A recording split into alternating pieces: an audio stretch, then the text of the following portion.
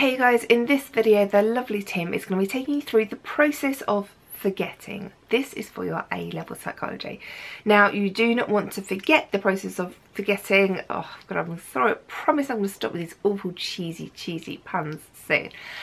But to make sure that you don't forget all of this, over on my website there are loads of multiple choice questions to help you revise.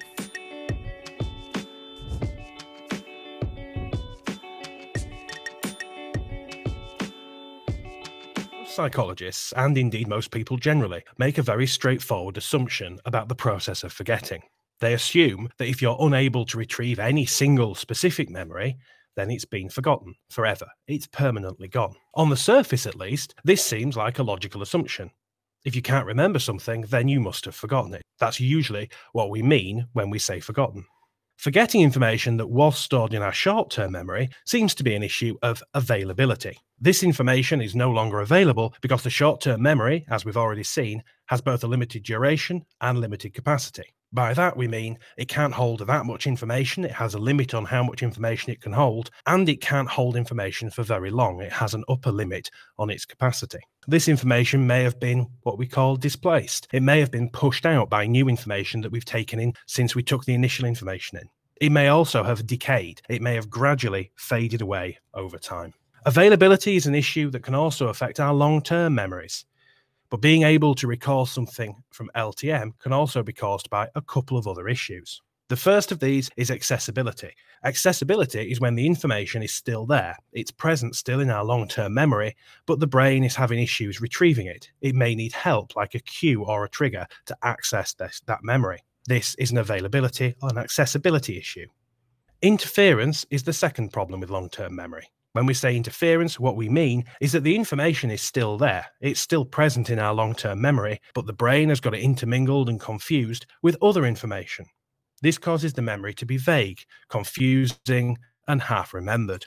There are several explanations for the process of forgetting, how we forget, and how that process of forgetting can be limited or controlled. The first of these explanations is called interference theory. Interference theory says that our ability to remember information depends on the information we have taken in before and the information that we've taken in since.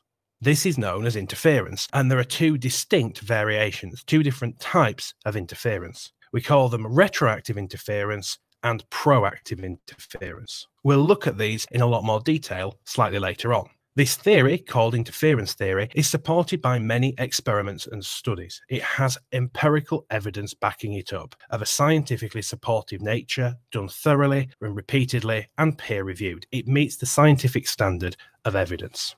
However, most of these are laboratory studies. When we do a laboratory study, we have good control of the variables. There's a very small chance that a third uncontrollable outside variable may be affecting our results, but doing our study in a laboratory minimizes that chance. However, a second effect of doing laboratory studies, as many of these were, is that they have limited ecological validity. They may not apply particularly well in the actual real world outside of the lab. There is some real world evidence for interference. For example, you may find it hard to remember how to play the violin if you later learn to play the piano. Interference theory explains why we forget, but it goes no further than that.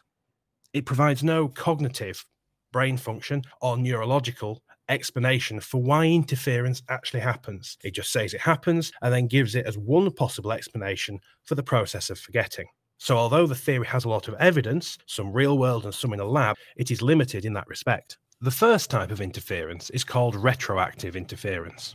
Retroactive interference is when new or recent information causes our brains problems in recalling older or less recent information.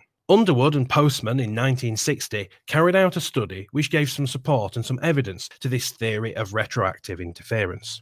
This study was done under laboratory conditions, so there was good control of the variables.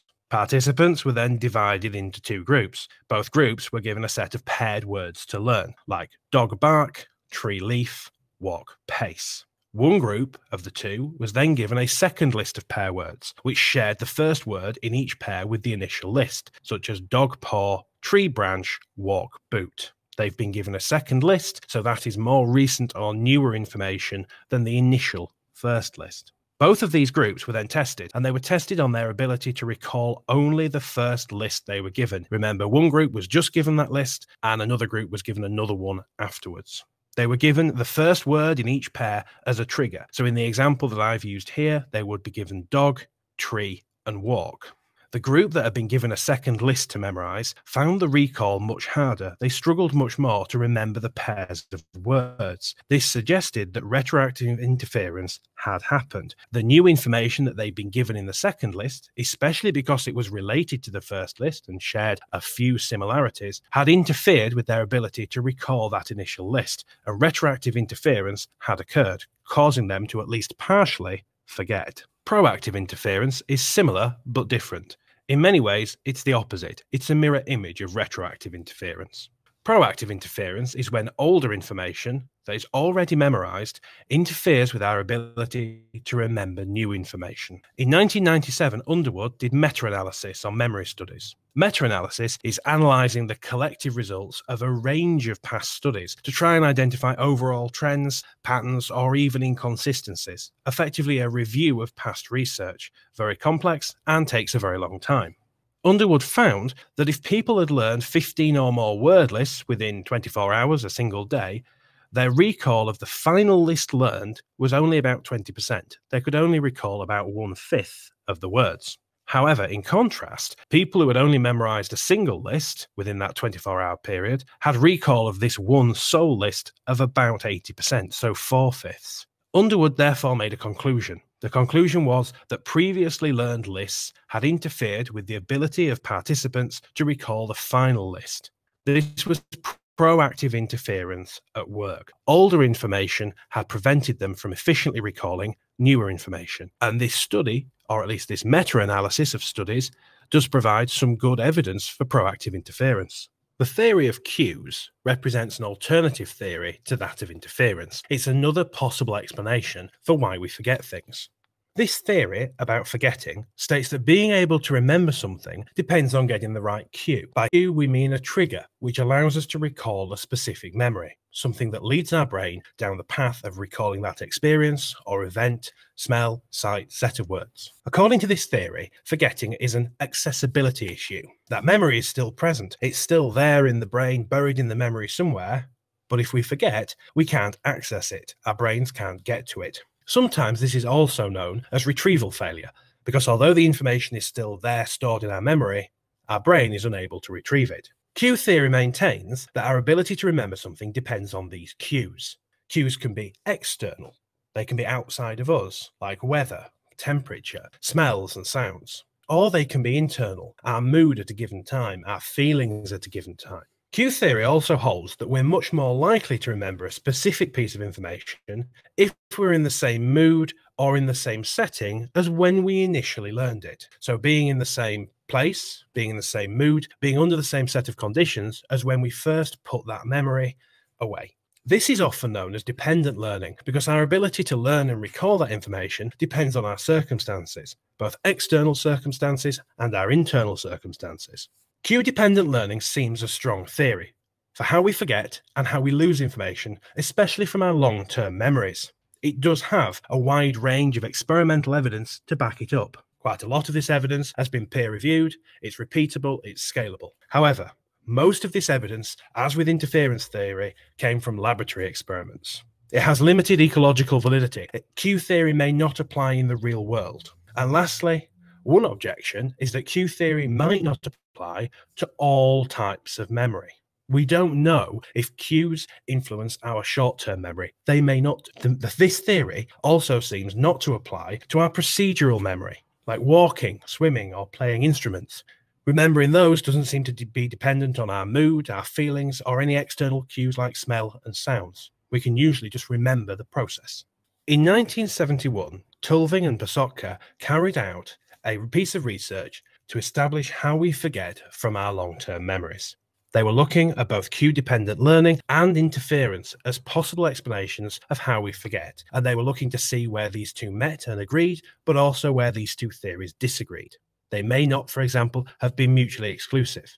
It could be that both present reasonable explanations for how we forget information. Each of the participants in this research was given a list of 24 words, either one list, two lists, or all the way up to six lists. Each of these lists was divided up into categories, six sets of four words which were all related, such as oak, ash, beech, fir, all trees, or dog, cat, snake, owl, all animals.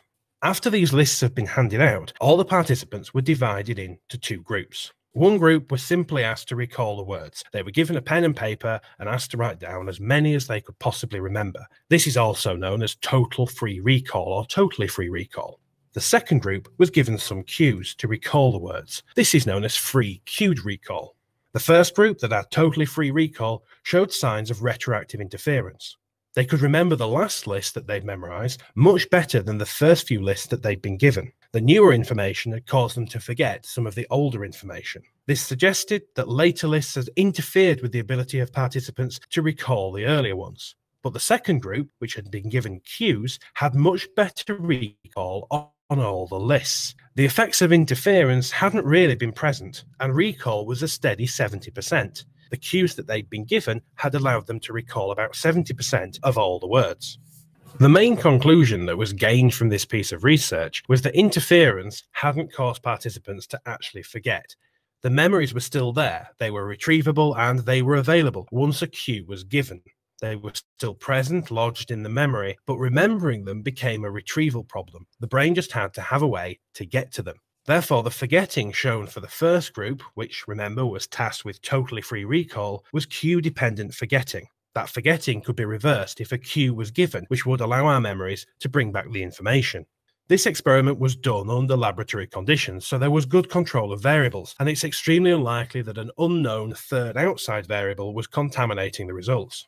But as always with laboratory condition studies, there may have been a lack of ecological validity. It's not possible to generalize these results. We can't say they would always work in the real world because they haven't been tested in the real world.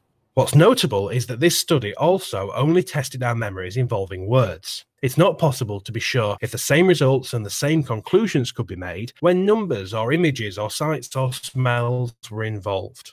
It may well be the case that how we recall and how we forget is completely different if we're looking at images or numbers or remembering smells. As far as we're aware, there was no ethical issues to this study. Participants were able to give informed consent, they weren't misled, they weren't harmed, and they certainly weren't put under any stressful conditions.